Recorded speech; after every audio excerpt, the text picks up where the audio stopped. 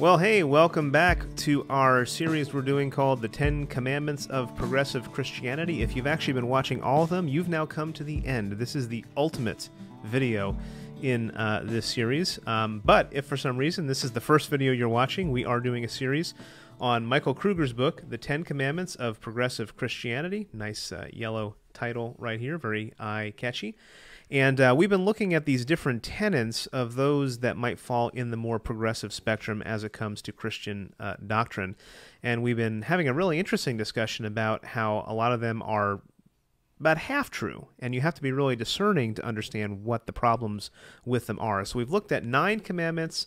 And commandment number 10 is one that we all have to really deal with and it's this. Life is life in this world is more important than the afterlife. That's commandment number 10. And so um, what he uh, what he says at the beginning of the chapter is essentially this: as we've come to the final commandment, it's hard to imagine a single statement that better captures the ethos of progressive Christianity than this one, and that's because those that typically fall on the progressive spectrum um, don't talk a whole lot about heaven and the afterlife, but about what happens in the here and now. And again, there's some truth to how we should care about what God's doing right now, but that does not negate the importance of what happens after we die. What would you think say about that, Dave? Yeah, a lot of this chapter focused on a book by Philip Gulley called "If the Church Were Christian: Rediscovering the Values of Jesus." Mm. Um, and this particular commandment does the three things that progressive Christianity usually does.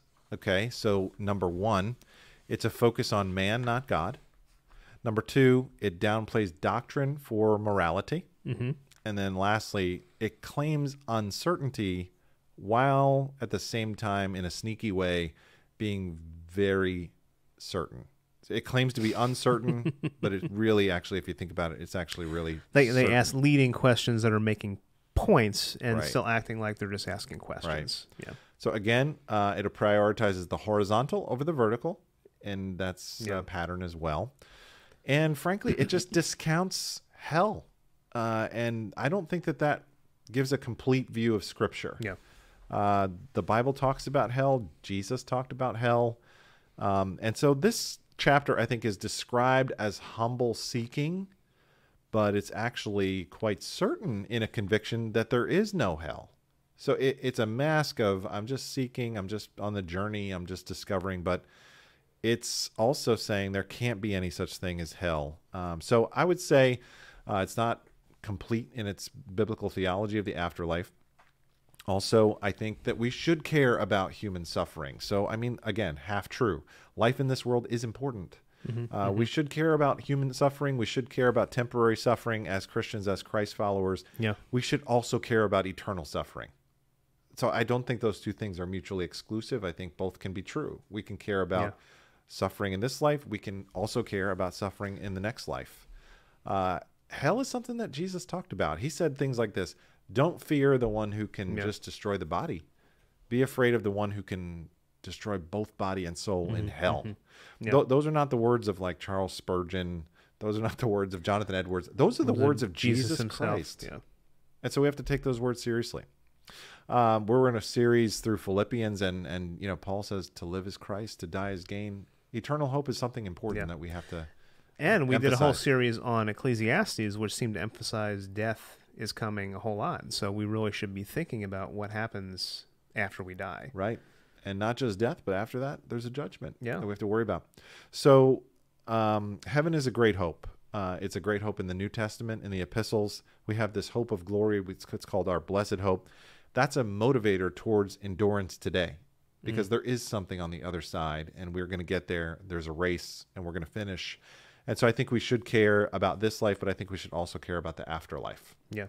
You know, Dave, since this is the last video in this series, maybe we could give some people some exhortations on uh, if you encounter these type of um, doctrines in your life or in conversations you're having with folks, how should we uh, respond? How should we be discerning uh, other than reading the book here? Yeah, this is a great book. Uh, I have mentioned this before on this video series, but J. Gresham Machen's book uh, called Christianity and Liberalism is the classic about this topic. There's a lot of good stuff out there in terms of apologetic resources, but be prepared. Do your homework, do your study, have an answer Yeah. to these things, send them this video. Uh, we would love to engage with you about these types of topics as well. And don't be afraid, I think, to um, to ask questions and, and lovingly point out uh, concerns and uh, truths that you see um, need to be brought up from Scripture. Let me give you a C.S. Lewis quote as we kind of wrap up this uh, video Mm. and this whole series. Here's something that Lewis said that kind of struck me. He said, Our business is to present that which is timeless, the same yesterday, today, and tomorrow, in the particular language of our own age. The bad preacher does exactly the opposite. The core of his thought is merely contemporary.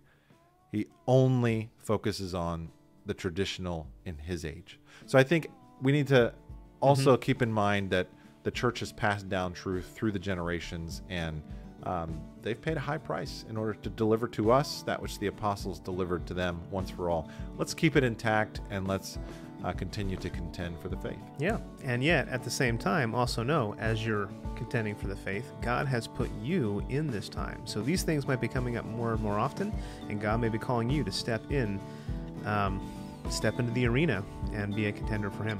Great. Hey, check this book out. We hope you've enjoyed this video series. Michael Kruger, The Ten Commandments of Progressive Christianity.